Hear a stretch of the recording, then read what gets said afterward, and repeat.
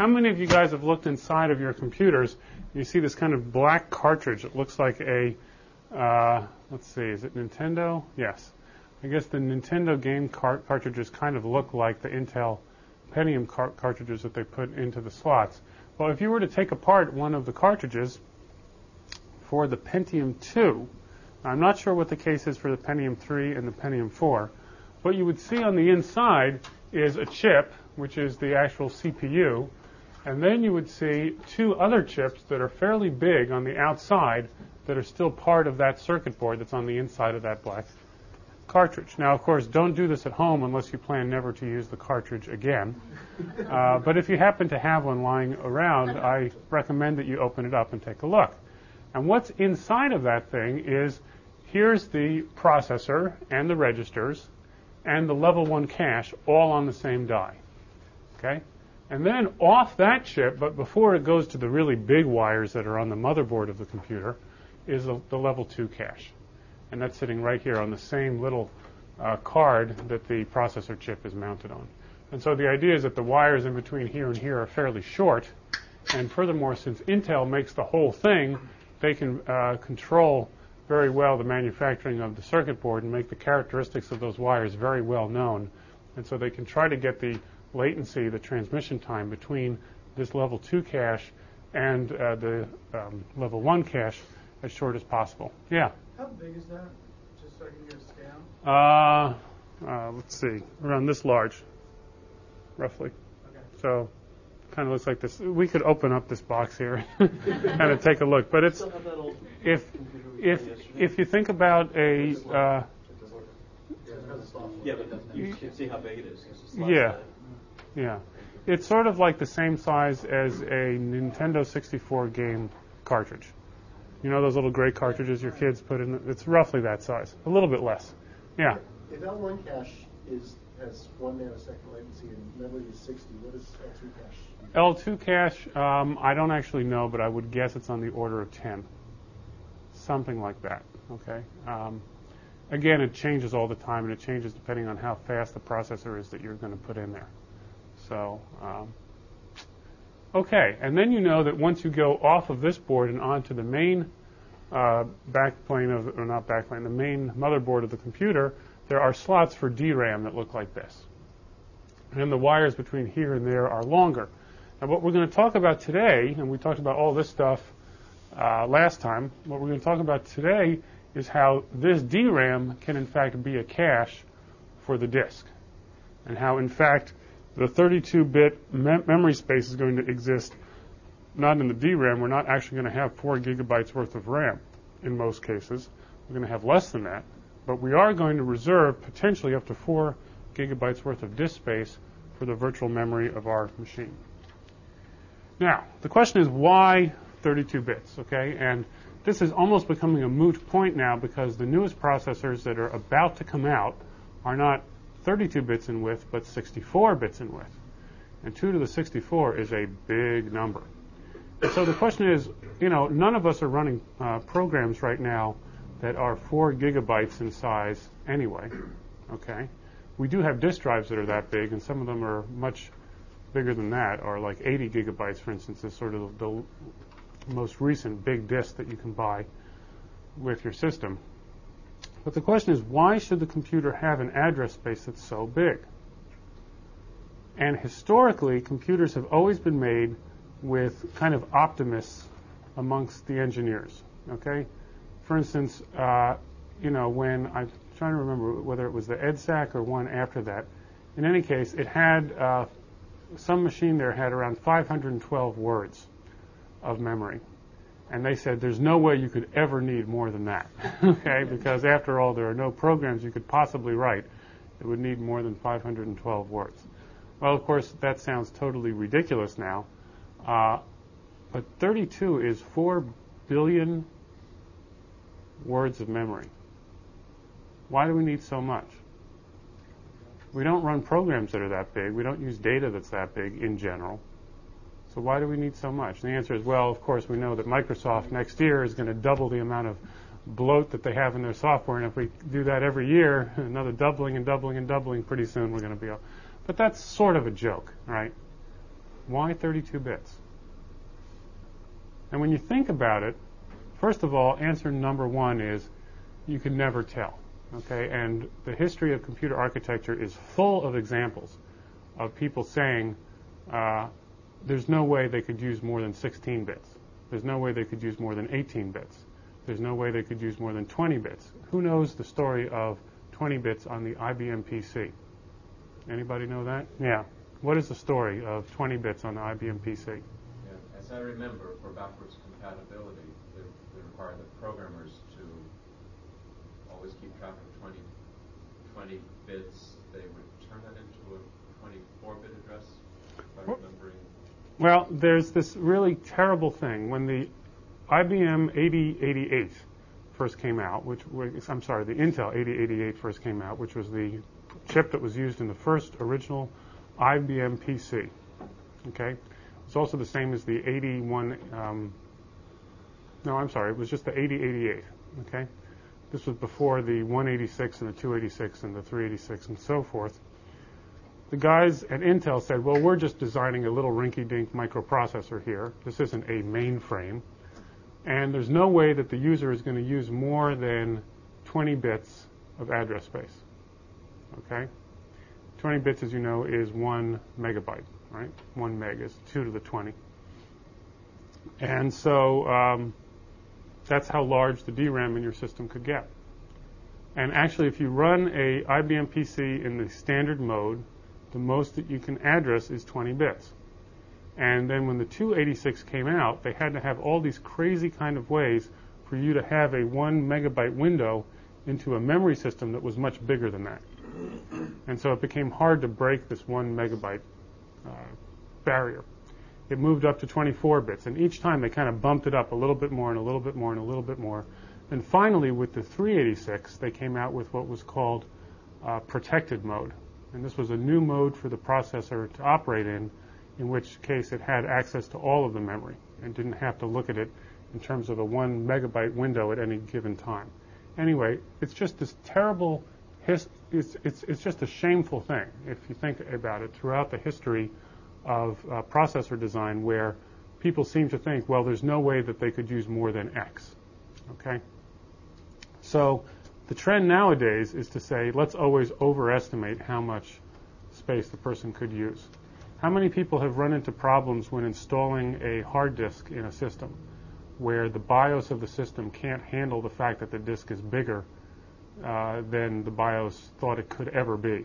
Any, anybody have that happen? Right?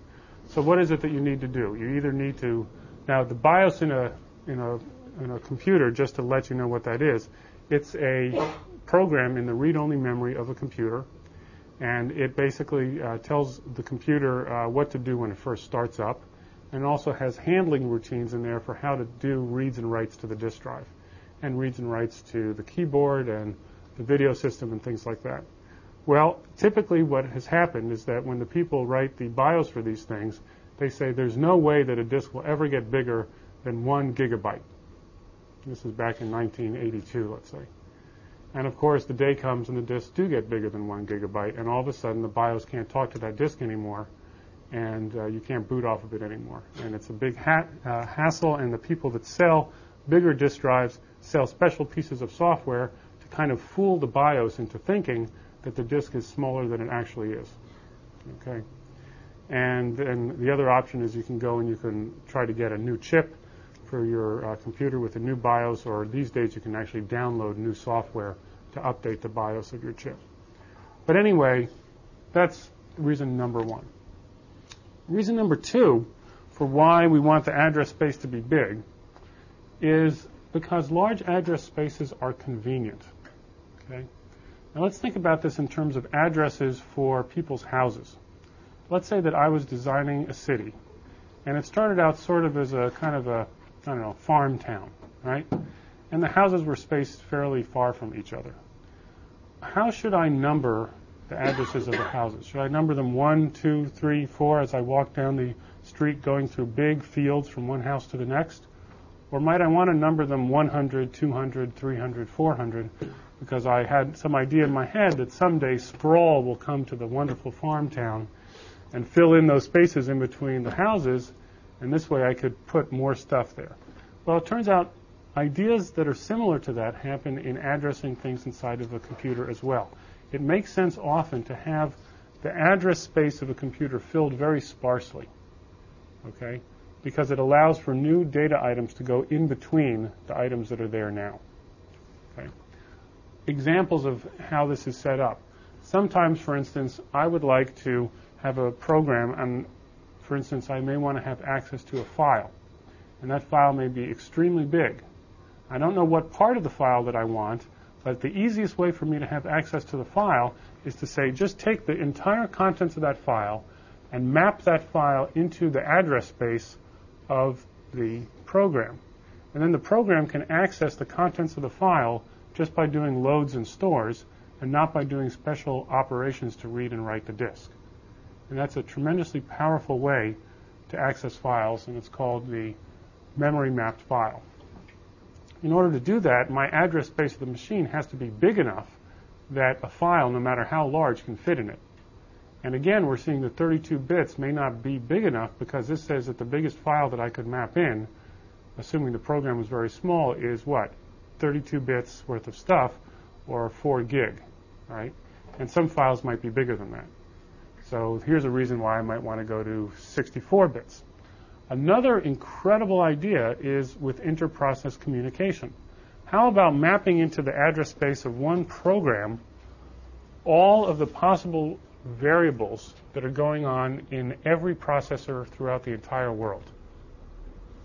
What's so bad with that? And that way, if I want to talk to a processor in um, Pakistan, okay, I go to address space such and such and such and such and do a load or do a store and those reads and the writes to the memory system would, in fact, cause communication over the internet, which would then cause data to come back and forth there. And that way, my one piece of software could treat everything out there in the entire web as available to me simply through the means of reading and writing memory. Kind of a wild notion. What if I wanted to map every web page that's ever been written into my memory space? Wild, wild notion right? Every file that's ever been written in the whole world. Can I fit that in 64 bits? 2 to the 64. How big is that? That's, uh, well, 2 to the 32 is 4 times 10 to the 9. So 2 to the 64 is 16 times 10 to the 18th. Okay, how big is 10 to the 18th? That's a pretty big number. Do you think that the number of web pages is less than this? Do you think the number of characters that have ever been typed in the world is less than this? No. That a human being has ever typed? No. How many people are in the world? Four. Times, what is it? Six? Sorry. Well, you know, times change, right? Six times. People have been busy. Six times ten to the.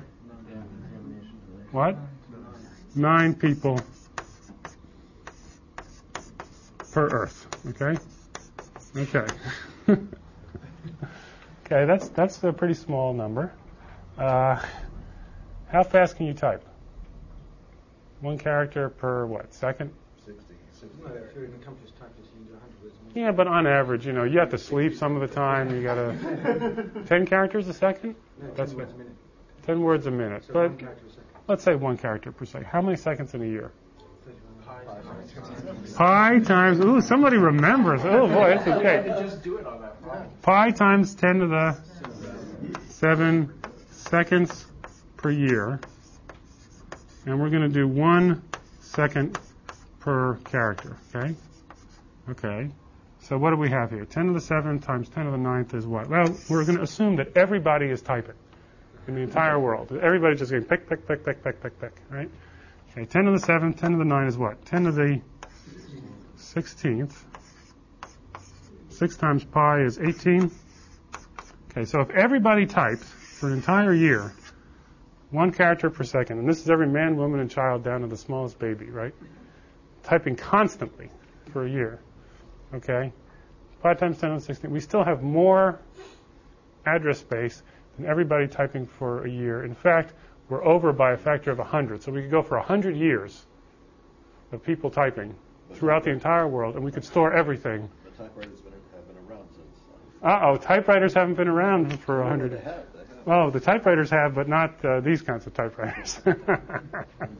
okay, wild notion. A 64-bit machine could map in everything that's ever been written But not, By humans. but it looks by like. humans. Oh, sorry, no. also computer generation Yeah, of reams yeah, of data. yeah. Okay. Okay, true.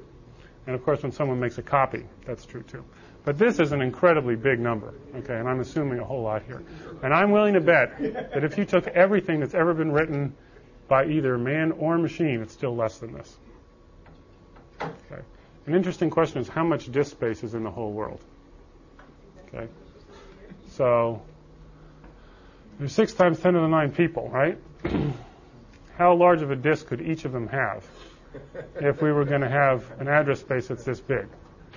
So we're going to give every man, woman, and child on Earth a disk drive. And we want to make up an address space that's this big. We want to store that many bits. How much of a disk drive do we have to give to each person? Well, 6 and 16, let's say it's a factor of 2, right? So it's 2 times 10 to the ninth bytes, right? Which is 2 gigabytes. Okay.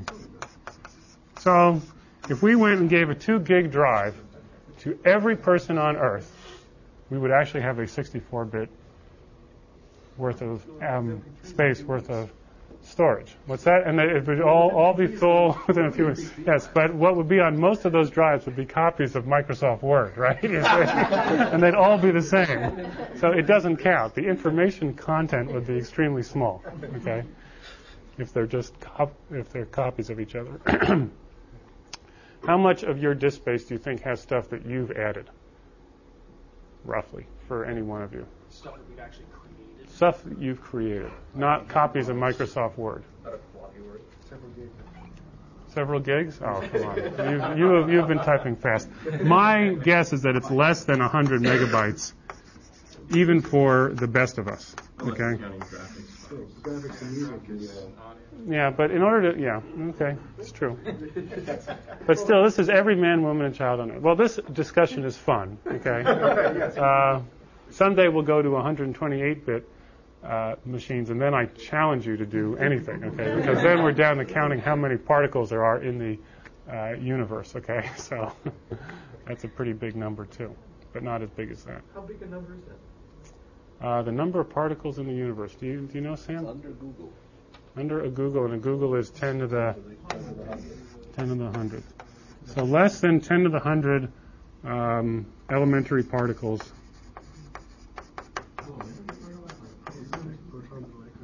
Well, you know, that's only a few factors less, so that's only going to change us by a few particles in the universe, per universe. okay, so when we get to uh, 2 to the 128, we're really getting up there, right? in terms of the amount of storage. And we could have an address space that was 128 bits wide easily, simply by making our bus only four times bigger than it is now. Okay, and we may want to do that. And the question is why? Well, the answer is is that it means that we can create a structure that is extremely sparse but very easy to access. It would be fantastic. I think it would be an amazing thing to map the entire World Wide Web into one address space. Okay, because through loads and stores, I could access anything. And furthermore, here's another wild notion. If the address space was big enough, the addresses might not have to ever change. And what's wrong with the internet right now? What's the trouble with the internet? How hard is it to get an IP address? IP addresses are 32 bits, right? And what's the trouble with the IP address system? We're running out of space. Now, are we really running out of space? Are there more than 2 to the 32 machines? No. What's wrong is that they decided to segment the address space, right? And say the top byte means this, the next byte means that, the next byte byte mean- means the subnet, and finally the byte that's left usually means the machine within the subnet. And so it was tremendously handy to sort of divide up this address space into big chunks, saying, you know, here's North America. Actually, what they really did was it. They said, this is North America, you know, and this is, you know, all of the rest of the world, right? You know, I'm going to put France down here because you know, and uh, and Africa is going to be this tiny little piece down here at the bottom. Um, and of course, they've run out of space because they've divided this up, and certain parts uh, have run out of space. Well, when the internet was created, do you know what the guy said? There's no way we could ever need more than 32 bits. That's the same guy. The- It's the same guy who's given us all the other trouble, the 20 bits in the PC, all of these other things. So you get the idea that lots of bits is a good thing. Okay? Okay. But, but, but, despite the fact that we're going to use a tremendously big address space, we can expect that that address space will not be very filled in. It's going to be sparse. It's going to be full of holes, just peppered with a few places that are used, but most of it is just going to be holes. And so when we design our memory system, we want to take that into account because God forbid we should be forced to buy four gigabytes worth of DRAM in order to make the machine work.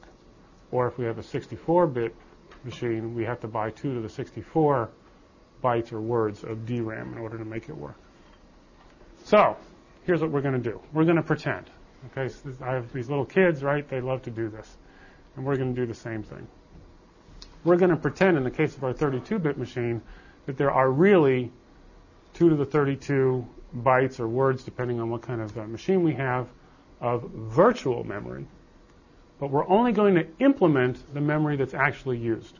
So let's say this big stripe here represents the address space, and the white parts of the stripe are the places that are not used.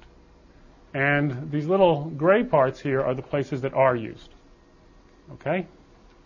Our CPU will see this entire stripe, but we're going to fool it. We're going to have a little map that every time the CPU tries to access a, per, a given place in this thing, that map will translate a particular location in this large space into another location in a much more small place. And that map is going to be called the virtual to physical page table. And here's how it works. We're going to take the 32-bit address that's over here, and we're going to say, you know what? Let's divide memory up into a set of blocks that are going to be called pages, just like the pages of a book. And we will use the low order bits of the address to specify where within a page we are. So as an example, if the number of low order bits here was 10, we could specify anything between 0 and 2 to the uh, 10 minus 1, which is a number between 0 and 1023. And that'll tell us where within a page we are. And this other bunch up here, these bits that are left, the higher order bits, are going to tell us what the virtual page number is, which of the pages within the virtual space we have. And those page numbers are going to be mapped to physical page numbers by a virtual to physical page map. So it takes a virtual page number in over here and converts it to a physical page number down over here. And notice that the number of bits over here is smaller than the number of bits up here because we're only going to implement in the physical address space those pages that are actually used. And in the virtual space, it's going to be a lot bigger. So, the virtual to physical page map here converts particular page locations inside of the virtual space here to page locations in a memory that is much smaller than the memory here. Notice that where we want to access within the page is not translated. So if we want to go halfway down into the red page, that'll be halfway down into the red page here. Halfway down in the green page, halfway down in the green page here. Why are we doing this? Because of locality. Chances are that if, even if we're not using this part of the space, if we are using one part of the space of this red page, there's a pretty good chance that we're using other places near there. And so that's why this blocking into pages makes sense, because of spatial locality. Everybody get this? If there's any questions about the fundamental idea here, now's the time, because we're going to kind of go to the next stage. Okay. Are you going to be explaining how that actual mapping occurs? I absolutely will. In fact, it works like this. P is going to be the number of bits that we're going to use to determine the offset within a page. And the examples, since I can't write on this thing here, that I'm going to use here is that P is going to be 10. I'm going to do that just for now. Now, this is actually typical of technology. Maybe five years ago, the pages were around 1K in size. These days, pages have gotten a little bit bigger, perhaps 8K, perhaps even more. But for now, let's say that the virtual address comes out of the CPU saying, I want this thing, and this is 32 bits. Okay? The 32 bits is going to come down here, and we're going to break it up into two parts. One's going to be the page offset, and that's going to be P bits, and that's going to equal 10 bits. And then there's going to be the virtual page number, and I call that V bits, or V bits. And since this is 32 and I'm stripping off the low order 10, how many do I have left? I have 22 bits left. Okay? So how many virtual pages do I have? I have 2 to the 22 virtual pages in my system, which is how large? 2 to the 22 equals what? 4 Four million. meg pages, virtual pages. And how large is each page? Page size equals 124, because it's 10 bits. 2 to the 10. Okay? Now I'm going to take the virtual page number, I'm going to put it into my virtual to physical page map, V to P, page map, and out will come, I think I used M, with the physical page number.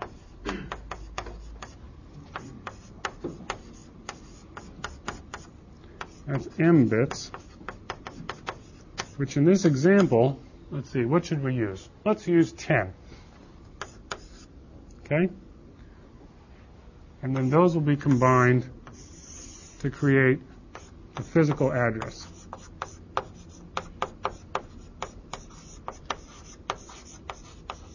Which in this case is pretty small. That's 20 bits or 1 meg. Okay, so I've gone from 4 gigabytes or words, depending on how this is set up. This is 4 gig up here, down to a physical size of 1 meg, which is great. And again, the assumption is, is that only 1 meg is being used out of the 4 gig, but the address space is big for the reasons we talked about before. Now, this virtual, virtual to physical page map, all it is, is a table. Okay, it's a table, and I take my my 22 bits of V here, and I go in here, and I'm going to read out the information that's going to tell me what physical page it is. So let's take a look at that. Here's what the table looks like. The virtual page number comes in here and tells us which virtual page we want. This is going to look a heck of a lot like a direct map cache, okay? Except we just take the virtual page number and find a particular entry in the table. We look it up and we find out what the physical page number is. We need m bits to represent that. We're also going to have one bit that's going to be the valid bit to tell us whether or not that page exists.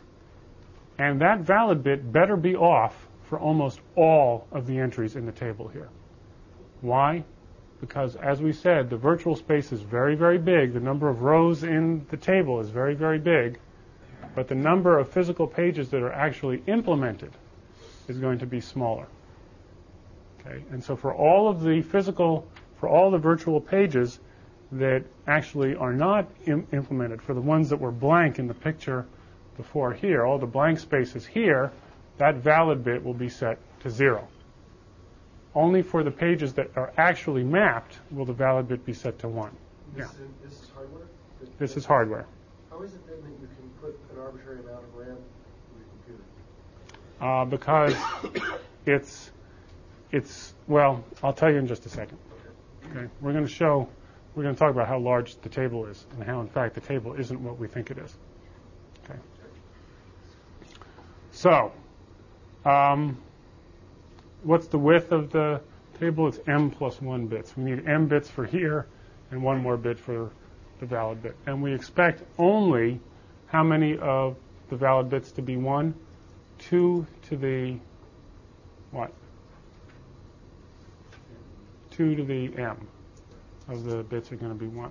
How many rows are there? 2 to the v, right? 2 to the v is pretty big.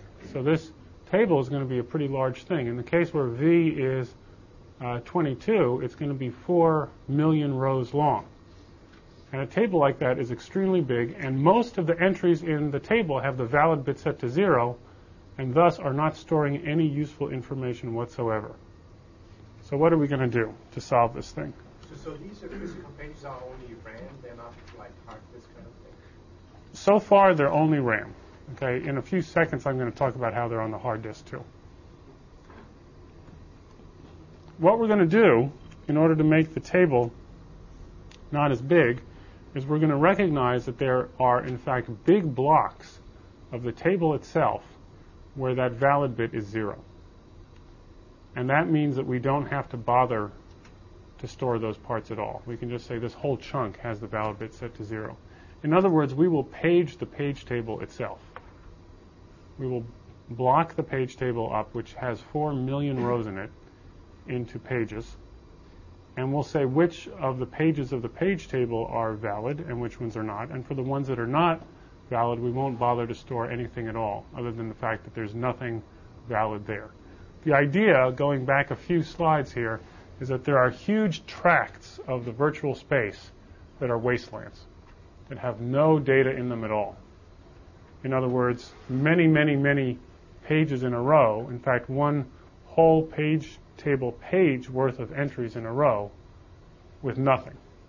And so we shouldn't bother to store those. And so a typical setup for that is for there to be two levels of page map like this here. And that makes the size of each of these maps much less. Okay, question? When you say nothing, do you mean absolutely nothing or completely random combinations of ones and zeros?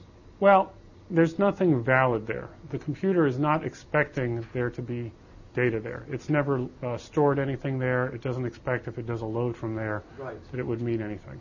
But there's likely to be some kind of charge Well, keep in mind we're talking about the virtual address space, not the physical one. So it's not that that storage even exists at all. The same way that an address for a house that hasn't been built yet, the house doesn't exist yet. So the bits don't exist yet for these places. We've just reserved the address space for them. What we're trying to do is figure out a way to map. You know, let's say that we decided because uh, Sprawl is going to go and build houses in between all of the houses that we have, that we're going to convert our houses to be an address of 1 million and 2 million and 3 million and 4 million. And let's say we wanted to build a table that went from your address to where you were on the planet Earth. Okay? You might be tempted to say, okay, that's just a table. So if you're at address number one, then you live here, and here's your GPS coordinates on Earth. Or at address two, you're over here, right? And so on and so forth until finally you get to 1 million, 10 to the sixth, and finally there's a real house that's valid, and your GPS coordinates are here. Now look, you've just created almost a million entries, all of which, if they had a valid bit, would have the valid bit set to nothing. And then finally one set to one, and then a whole bunch more set to nothing. And this is all to account for future growth. Okay? Should you store this part of the table? No. Let's go ahead and say I'll block the table up into pages. Okay? And when there's a block that has one or more valid entries in it, I'll store that part of the table. But for all the rest of these, I'll just store a little check mark saying that there's nothing there. Okay? So that's the idea of paging the page table itself. Another great example of this, the phone system, okay? Everybody used to live in area code 617 here, right? Wasn't that great? Right? You didn't have to remember, is it 781 or 508 or da da da da da, right? And I still can't keep track of these things, right? What happened, they said you could you couldn't possibly ever need more than seven digits for eastern Massachusetts. It will never happen, right? We all live in 617. Then, of course, it did happen, right? So now they added more codes and more codes and more codes. And what's worst of all is that they caused us to change, right? Do you guys actually know the history of this thing? Right? So it, it used to be that all of Eastern Mass, right? Right, was, so here's 617, and all this stuff over the left was 508. 413. Well, But 508 is only 10 years old. 508. So then they added 508, right? And then recently they went and said, no, no, no. What what we're going to do is we're going to put 617 here, right? And then this is going to be 781. That's where I live. And then there's like a gazillion other ones here, right? Okay, I don't even know what they are. Okay, but they made this so everybody needed to change, right? And then recently, do you know what they just did like a month ago? They said, guess what? This isn't good enough either.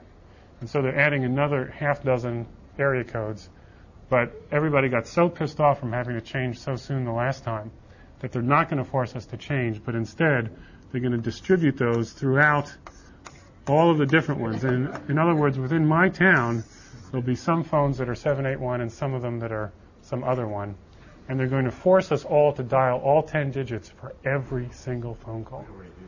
Okay, and some of you guys do that. And that's called the overlay system, which is actually better because it means that you don't need to ever change your phone number, the new ones. But they did the worst of all possible things here, which is that they forced us to change, and then they did the overlay. Okay, so it's just the worst of all. But the reason this is so bad is that they didn't think ahead how many phones will people have in the future when they did this thing.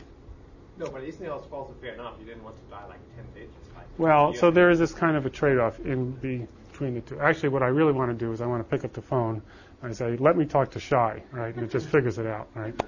So, and hopefully in a few years we'll be able to do that. Ah, but okay, paging the page table is a way of saving on the memory. Now, you asked whether or not this is in hardware. The answer is is in some systems it is in hardware. In most systems, actually, the answer is no, it is not in hardware. It's in software. So this is a memory structure. These maps are in memory somewhere, okay? Except for a very, very small page map, which has to do with how the computer first starts up. So, for instance, the page map for the operating system itself may actually be stored in a, in a known place that the hardware knows about. But the other page maps are typically in software-defined places. Are each of these levels going to slow down our memory access? You bet. And we're going to have to figure out a way to make that better. Okay? And we'll talk about that too. Okay. So that was idea num- number one. Now, idea number two is besides having this map between virtual space and physical space, is sometimes that physical memory will not be big enough. And it's not just that we want the address space to be big, but sometimes the programs are going to be bigger than the physical memory of the system allows it to be. Now, the truth of the matter is, is that these days, when you buy a computer, it is hardly ever the case that you are running programs that are bigger than the physical memory of the system. Okay? And that's only due to the fact that memories have gotten really, really big. So when I buy a new machine at CompUSA and I get 128 meg of RAM, I could probably run everything, Windows and Word and Excel and Outlook and all that stuff, without having to go beyond that 128 megabytes worth of RAM. Okay? But the truth of the matter is, is that I can also run that system with 64 megabytes of RAM or 32 megabytes of RAM. And when I do that, how many of you guys know what happens? What tends to happen? The machine slows down. But why does it slow down? Do you notice the machine doing something that it ordinarily doesn't do? It starts using that hard disk, right? The hard disk starts flashing on and off and on and off. And what it's doing is it's using what's called the swap file, which is win386.swp if you run Windows. And it is only storing a fraction of the memory of the computer that's active in the physical memory of the machine. And the rest of it it's putting out on the disk, swapping it out to the disk. And so there's really two ideas here in this virtual memory system.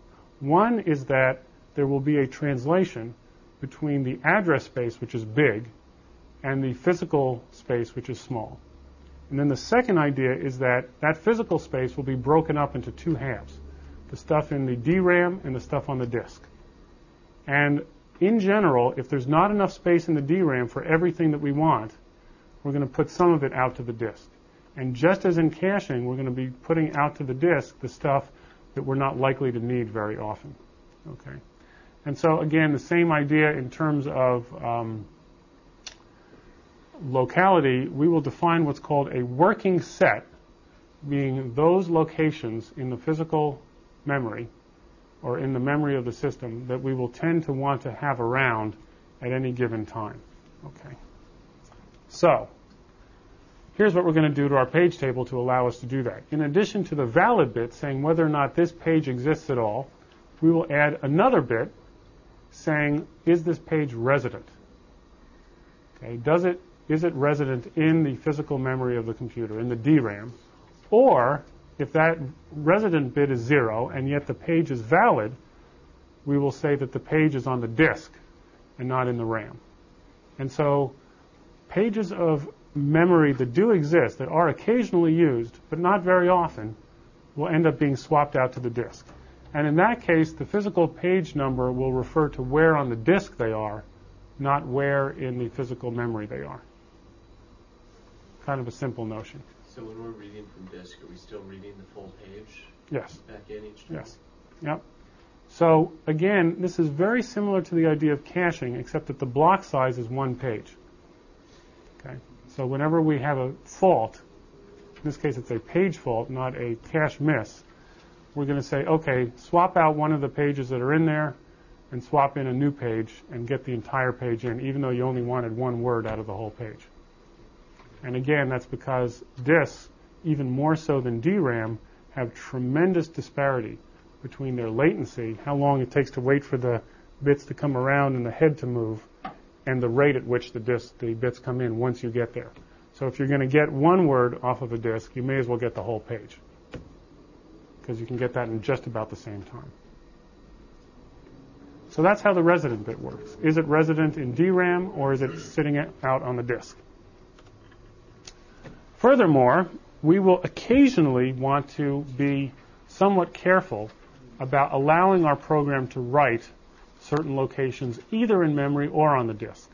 As an example, we may have in the virtual memory of a program two sorts of things. We may have parts of the operating system mapped in to the address space of a particular program that is running.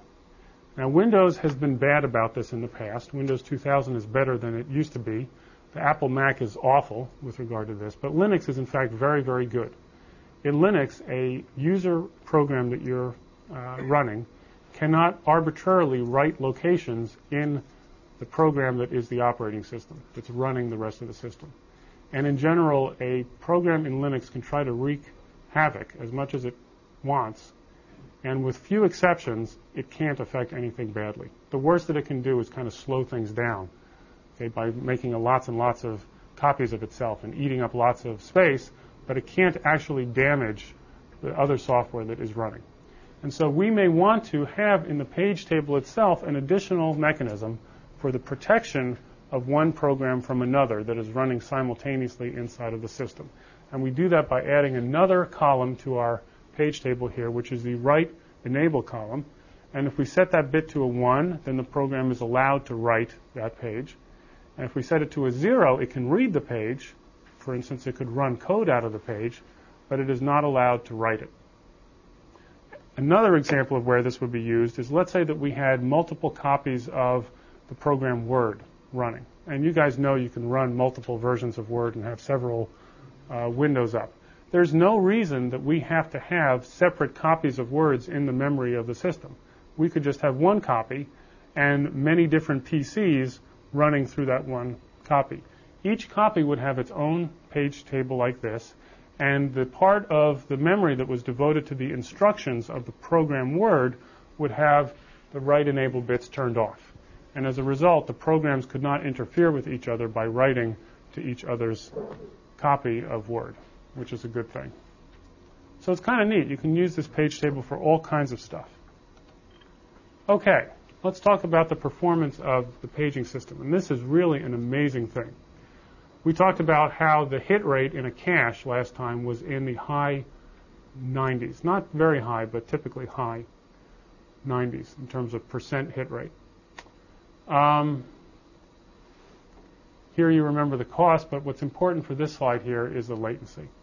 Now, DRAM is 60 times slower than the static RAM that we're going to use for the cache. That's pretty bad. How much slower is the disk than the DRAM in terms of latency? Well, it's on the order of 200 times slower, perhaps 1,000 times slower, depending on the magnitudes here. Okay? That is a lot slower. In fact, I'm even wrong than that. That's wrong. Nanoseconds to microseconds is 1,000. Microseconds to seconds is a million, so microseconds to milliseconds is another 1,000. So it's on the order of a million times slower. That makes more sense. A million times more slow. Maybe only 200,000 times slower. If you say this is 60 and this is 100. But that's a lot. That means that when we get a miss in the main memory of the system and we need to go to the disk, this T sub s is so big that even if alpha is almost 1, when we multiply 1 minus alpha times T sub s, it's going to drag the access time up incredibly badly. And that's why it is that when you only have 32 megabytes in your machine and you're running Word and Excel and all these things, and you see that disk light flashing all the time, why the system just slows down incredibly. It goes, oh, God, it's slow. And that's why adding more DRAM to your machine gets the hit rate up for paging, okay, for the virtual memory system, in such a way that you have drastic improvements in the performance of your system. If you can arrange to never have to go down the disk, in other words, for alpha to be 1, and 1 minus alpha to be 0, then your average access time will just be T sub f, which is pretty fast. Um, on, I don't know if it's the same on a PC, but on, on a Mac, when you run a program, you can set how much memory that program wants. Yeah, that is so bad. You have no idea. What's going on with that? I don't even want to talk about that. That's how bad that is. Okay. That is a the most rinky-dink stupid thing I've ever heard of. Okay. Every modern operating system figures out uh, as a program runs how big it should be. Okay, and the program is allowed to grow and ask the operating system for more space. Only on the Apple which again, remember that both the PC and the Mac were designed originally from sort of toy systems, okay, which were sold to people like, you know, like me that were willing to fiddle around with the numbers like that. How much memory should this system, program take? Uh, it just sort of reserves that much space in the virtual memory system, okay? But modern systems never do that. They start out small and they allow it to grow. Here's a little graph here, T sub s and T sub f, and as alpha goes between 0 and 1, the weighted average uh, of the average access time will go between T sub s and T sub f. If alpha is 1, you'll get T sub f. If alpha is 0, you'll get T sub f. If alpha is a half, you'll get a weighted average of a half of the two of them. Okay, so that's just a graph of that. Uh, let's figure out what alpha needs to be. If we assume that uh, what we want is for our system K to perform with twice the average access time of the fast memory. T sub s is the latency of the fast memory. T sub s is the latency of the slow memory. Alpha T sub s plus 1 minus alpha T sub s is the average latency, right? Let's just arbitrarily say that we want that to be k times the latency of the fast memory. And let's set k to 2. Okay, and figure out what must alpha be. Well, that of course is going to depend on T sub f and T sub f. Plugging into T sub f and T sub s, 60 times 10 to the minus 9, which is the latency of DRAM, 60 billionths of a second, and 10 milliseconds for T sub s, which is the latency of a hard disk. And we want the system to perform with average half of the speed of the DRAM. So we're willing to give up half of it, and for the average latency to be 120 billionths of a second. What must alpha be? Guess what alpha has to be? 0.999995. That's how close to 1 alpha needs to be in order for the system to perform as if, the D, as, as if it was running with all DRAM but twice as slow as the DRAM that we have. And that's still awful. Who wants a system that runs twice as slow as it would if you bought more uh, memory? But notice how close this is to 1. So paging systems are exquisitely sensitive to misses, to hit rates being less than 1. Exquisitely sensitive. And the reason is is that disks are so damn slow compared to DRAM. And the only way that this works is if you keep that hit rate very, very close to 1, much more so than in the cache. The difference in the cache was not quite as big. Okay, and that's why, you know, if you follow Gill Pratt's rule, you buy a processor that's half as fast as the fastest one you can get, and you buy as much DRAM as you can. Okay, spend your money on the DRAM, not on the uh, processor, because that'll make more of a difference. Get it so that it never goes to disk. Okay. So paging's there just in case, but in general, it's a bad thing. How much DRAM can you put in these modern? Uh, it depends. Uh, different ones take a different amount, but uh, you can certainly put 128 in every system that's sold now, and in many you can put up to a gigabyte. But you don't have to go that high. Just sort of, you know, go for the top of the line in terms of the amount of DRAM you're going to get, which these days is 128, perhaps even 256. Okay, uh, and go for a processor that's half as fast as the latest one. You'll save a lot of bucks on that because people are dumb in general that are out there that are buying these things. It's not that they're they're uneducated, okay, and they don't know that the megahertz don't actually matter, okay. It's the performance that comes out that uh, actually uh, matters. Okay, if you look in the Hacker's Dictionary, you find this wonderful definition of the word thrash: to move wildly or violently without accomplishing anything useful. Paging or swapping systems that are overloaded waste most of their time moving data into and out of core.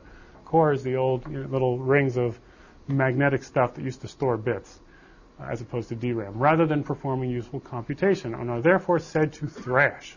Someone who keeps changing his mind, especially about what to work on next, is said to be thrashing.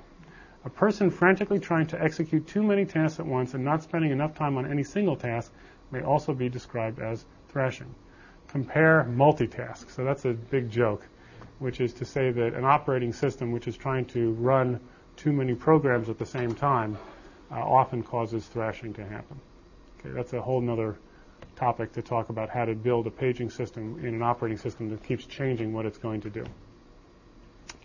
Okay, you guys all know that there is overhead to deciding I'm going to stop working on the bills and now I'm going to work on Ars uh, stuff, and I'm going to stop doing that and now I'm going to watch the news and you know, and if you spend too much time flipping around from one to the other, the overhead will kill you.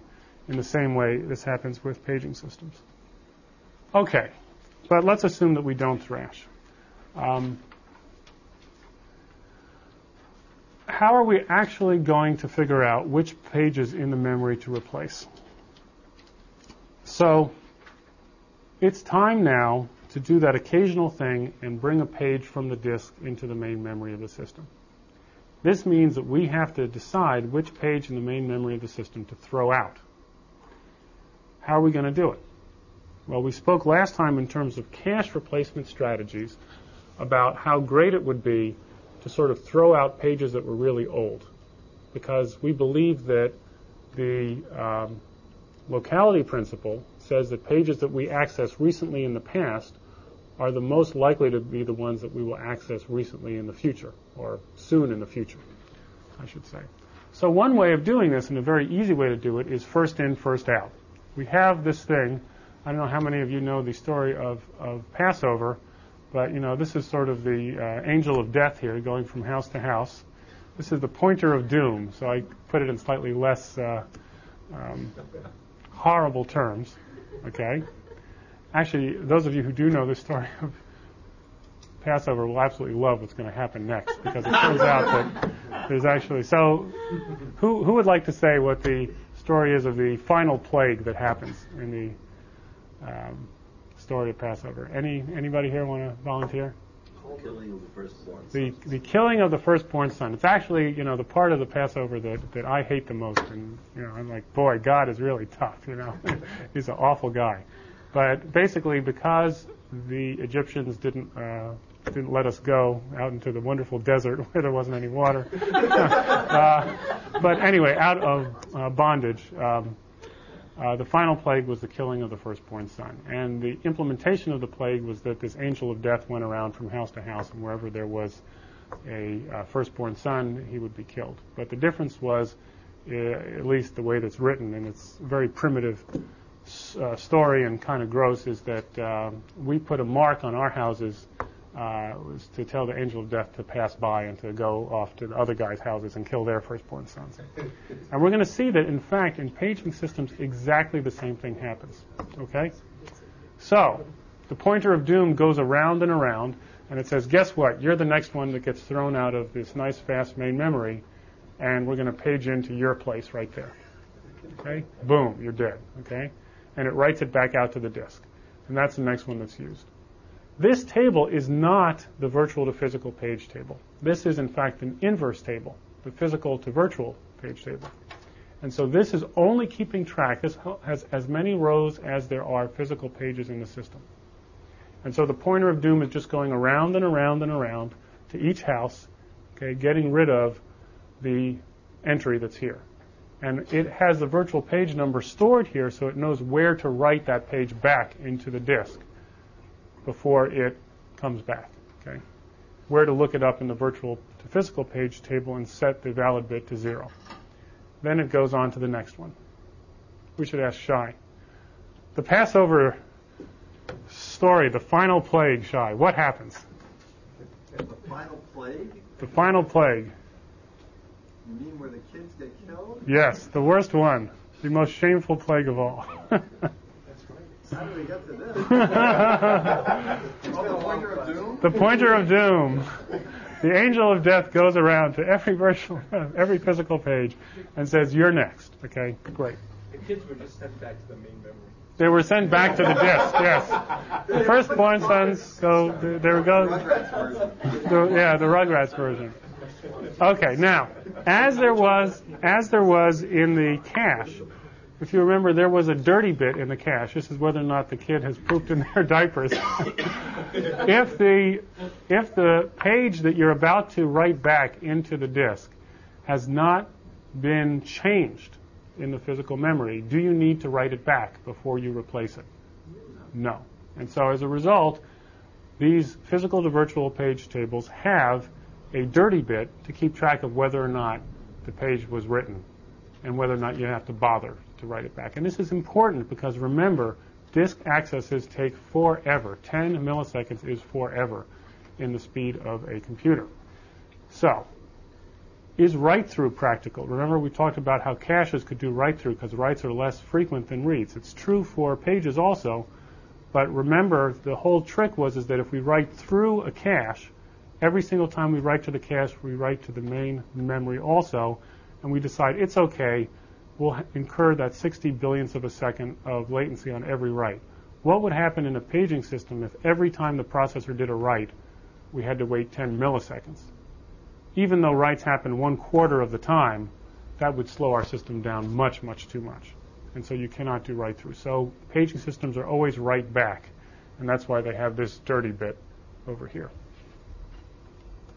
Okay, so Professor Corbudo at MIT took the Passover story and decided to make it real and came up with this great idea for paging. And this was on a system called Multics at MIT, which was one of the first uh, time-sharing systems with virtual uh, memory in it. The pointer of doom would go around and around and around unless there was a mark on the house. And if there was a mark on the house, it would skip. Okay? And the way it worked is that it turns out first in, first out is not really what we want to do. If we want the hit ratio, the alpha, to be as high as possible, what we really want to do is something much closer to least recently used. What's the difference between first in, first out and least recently used? First in, first out says the next one to go is the last one that came in. Least recently used says the first one to go is the least recent one that was ever accessed. And that is constantly changing irrespective of when things were brought in. So we wanted some kind of mechanism that if a particular page was used frequently, the angel of death here would say, you know what, you've been used a lot. Even though you were brought in a long time ago, I'm going to skip you. And that's what the purpose of these touched bits are here, the T bits. So every time that a page is accessed in a system like this, whatever physical page is used, the touched bit is set to 1. Okay? And if the pointer of doom comes by a touch bit and it's set to 1, it skips over it. Does it set it back, the touch bit back to zero. That's an excellent question. What if it didn't do that? What if a program was particularly active and touched everything? The pointer of doom would go around and around and around and around and would say, uh oh, you know, no Christmas lights in this town, so I have no pages to throw out. Well, I guess back then it wasn't uh, Christmas lights, was it? no little idols of, you know, Egyptian gods. so what did it do? It sets the touch bit to zero. It skips over it, but it clears the touch bit. And what that means is that it is given a uh, lease on life until the next time the pointer of doom comes around again. And it just keeps on going and going and going until it finds one that has the touch bit set to zero. And so it keeps going around, and when it does find one, which may be the very first one it did if they were all set, it then throws that one out. And go ahead. So what causes the pointer of doom to move? Is it only when we need When you need to replace a space. Yeah, there's actually So two ways of thinking about it. sits- sits around waiting? Yeah, the technical term for this thing it's actually called the clock pointer, uh, but I don't use that term because it gives the idea that this thing is constantly moving, but it actually isn't. Okay, it stands still until we need to find a space in the physical memory of the machine in order to page a new page in, and then it starts to move. And it moves until it finds a touch bit set to zero. And if it sees one set to one, it sets it to zero and then moves on. Once we know we need to throw something out, is the time to find an empty space inconsequential? Or Yes, because keep in mind again, it's going to be at least 20 milliseconds. Well, it's going to be at least 10. It's going to be 10 to page in a new page. It's going to be perhaps 20 if we need to write one out if it was dirty, and then page one back in. So that's a long time. So going around this thing with a little pointer is in fact very easy to do. Uh, the first Yeah. thing we're checking for is one marking valid, so we don't have to worry about them. Right. If it's not valid, we can go ahead and just use it. That's absolutely right. But if the system's been in operation for a while, all the physical pages are going to be used, assuming you didn't buy very much RAM. Now, if you bought plenty of RAM, you never have to do this because you're never going to be looking for pages to throw out. Okay, which is again why you want to have lots of RAM in your system. Okay. Now, somebody asked a wonderful question, which was doesn't all this looking in the virtual physical page table take time? And the answer is, of course it does. And so what we do is that we used an idea from caches uh, called the translation look-aside buffer. And what this is, is a cache of this table. In the same way that the cache was a very fast RAM, but small, used to cache the main memory, we're going to cache the data that's in the table here with a small memory over here on the side. And this is the hardware that is part of the processor chip and has a few thousand rows in it and is a cache. It's usually a fully associative cache because it matters. You remember how much it mattered because we're going through here all the time that this cache have a hit. Okay, uh, this is really a very very high performance cache in most cases, and so it caches the entries inside of here. And only if we get a cache miss inside of here do we actually go into the table itself, which is stored in DRAM and may have multiple uh, levels to it in order to look things up. In fact, usually the translation look-aside buffer and the cache exist sort of side by side, and it would be nice if the memory system were built in such a way that we could begin the lookup in the translation look-aside buffer cache at the same time that we begin the lookup here, even before we know the results of the TLB.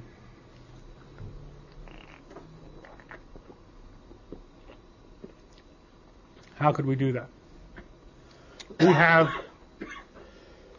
a choice when we cache things.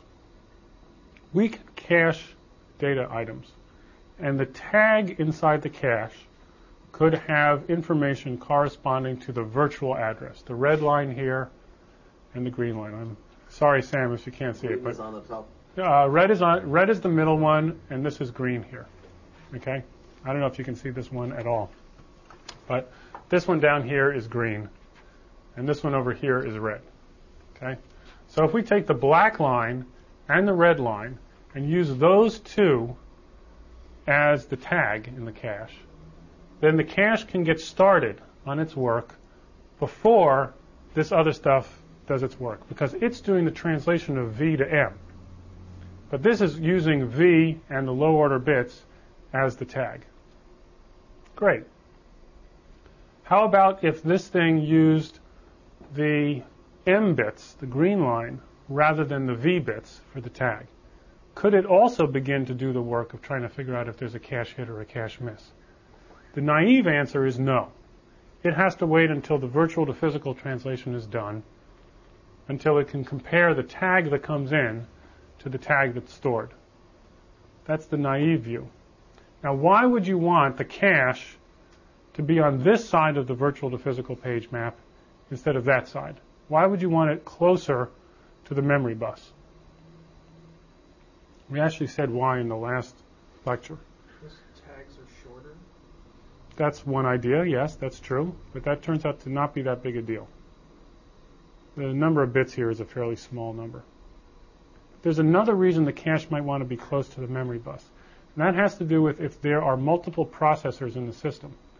Remember the issue of keeping the caches coherent, keeping them synchronized with each other, that if one processor did a write to its cache, and the data value was also had a copy stored in this cache here, that somehow this cache could be informed of that information over the memory bus. And the way that this cache would do it is by snooping, by listening to the memory bus. And when this other cache did a write through, this cache over here would observe the transaction on the memory bus and either invalidate its entry or actually write the new value in there. And that way the caches would all stay synced up with each other. Well, if the cache is using information from this side of the virtual to physical map, it's much easier for it to tell whether or not something that's going on on the bus is meant for a copy that's in here. It can directly compare the bits in the address field on the memory bus to the tags that it has here. On the other hand, if it's way up here, it needs an inverse map in order to figure out if something that's going on down here on the bus corresponds to tag bits that are in here. So in fact, it is quite common in multiprocessor systems for the caches to logically be placed after the virtual to physical page map. And that sounds awful because what it means is that we need to, on every access, every normal access inside of the processor, we need to do the translation first and then the lookup in the cache. And the cache is supposed to make things fast, but my God, this translation takes time. But that's only true until you look inside what's going on. So let's take a look inside the cache itself. Are we talking specifically L2 caches? Um, let's not worry for now. Let's assume that there's just one cache. And, um, but it's pretty much, yes, you are right. It's pretty much the L2 cache. Inside of this cache itself come in some bits. Okay, this is the offset page.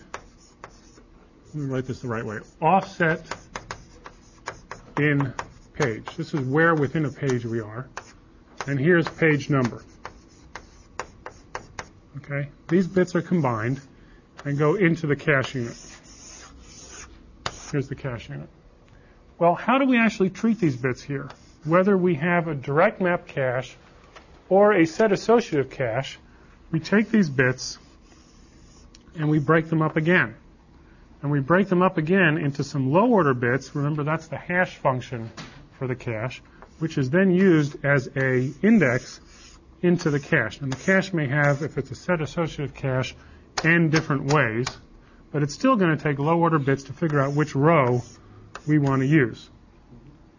And then it's going to compare one or more of the tags to see if they're equal to the high order bits over here to see whether or not we have a cache hit.